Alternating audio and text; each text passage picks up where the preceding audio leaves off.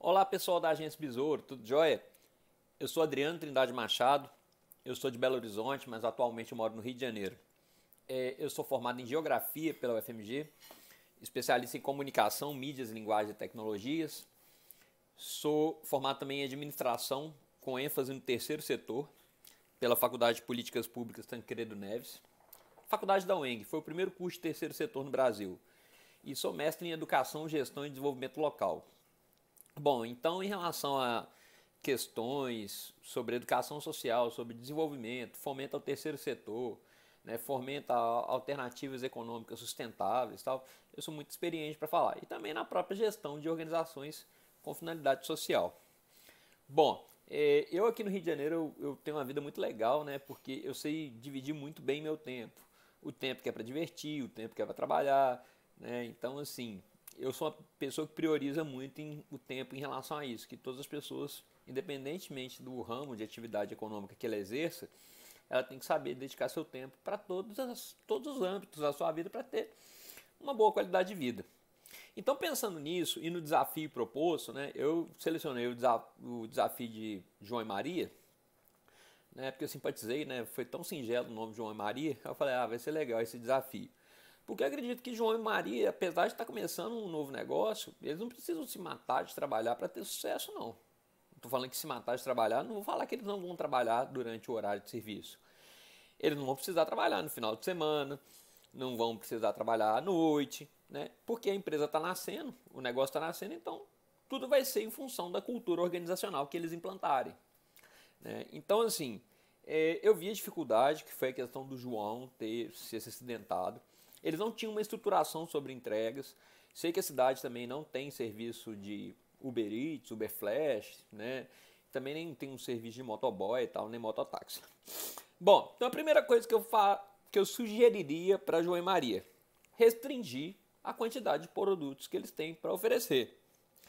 Né? Por exemplo, eles oferecem bolos, sobremesas e doces.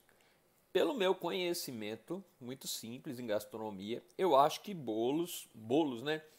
É, e sobremesas são mais perecíveis. É lógico que alguns doces também são bem perecíveis, mas eu focaria naqueles que dão para ter um, um, prazo de validade de uma semana, 10 dias, alguma coisa do tipo. Porque eles ganhariam mais tempo entre o processo de produção e o processo de comercialização. Então, assim, pegando os primeiros produtos, eles montando uma estrutura melhor, tal, depois eles iriam para outros produtos. Né? E na verdade, eu acredito que focar em poucos produtos no início, né, até mesmo porque a mão de obra é limitada, é só a Maria que sabe as fórmulas, é só a Maria que sabe as receitas, pode personalizar o um negócio, né, como um doce específico da Maria, do João e Maria e tal, e por aí vai. Então, olha só, para essa situação, eles trabalhariam com a venda sob demanda. Né? Então, assim, eles não pro, produziam pouco, mas vocês vão entender por causa dessa estratégia, né, para eles conseguirem ter uma margem que o que, o que sobrasse para eles, que sobrasse de produtos fabricados, seria para fazer degustação, teasers, né? O que, que são teasers? São chamadas publicitárias de baixo custo, geralmente com, com resíduo de, do que foi produzido.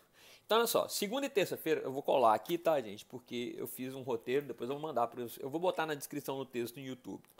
Então, segunda e terça-feira, Maria ficaria com atendimento porta a porta, né, com a amostra dos seus produtos fabricados na semana anterior. Ou seja, aqueles que sobraram na semana anterior, Maria, segunda e terça, ela iria captar novos clientes, fazendo amostra, degustação tal, e um cadastro desses novos clientes. Né? Tendo em vista que a cidade é de pequeno porte, pelo que eu entendi, né? então esse contato porta a porta é extremamente importante. É, os novos clientes seriam captados por ela. É, e além disso, ela com esse contato, ela faria uma, um cadastro dos clientes com WhatsApp, né? Assim, por menor que seja a cidade, o WhatsApp já está inserido em qualquer região do Brasil, né? É, faria um cadastro dos clientes pelo WhatsApp, os que fossem mais, mais, mais alheios à tecnologia, ela faria um cadastro para SMS ou para ligação telefônica mesmo. Né? O que, que acontece? Vamos continuar aqui. Também faria no WhatsApp um grupo privado sobre a loja dela. Né? Ou seja, para divulgar promoções da semana, ou peça até tal dia ganha então tantos por cento de desconto. Algumas, alguns jogos, algumas competições para estimular o consumo antecipado. né, para que na quarta e na quinta, que são os dias que ela deixa para produção, ela fica já com, com, assim, com tudo engatilhado. É... Então, olha só, deixa eu continuar aqui. João, apesar de estar com mobilidade reduzida, tá, faria o semelhante ao serviço de Maria, mas em casa, pelo telefone ou pelas redes sociais. Segunda e terça pela manhã, ele atenderia o João, os clientes que já são cadastrados, fazendo aquele contato, call center mesmo. Né? Assim, é, por mais que a empresa seja pequena, pode ter um serviço de, de teleatendimento estruturado, tá? É, ele atenderia já os clientes cadastrados. E na terça, na parte da tarde, conforme o que a Maria já tivesse finalizado e o que ele já tivesse finalizado, ele compraria os insumos.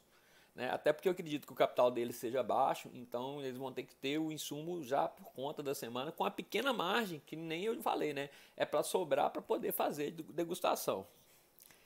É, na quarta e na quinta, Maria ficaria por conta da produção, tá? Em função dos pedidos né, que surgiram né, pelas formas de eles captarem clientes ou através das redes sociais.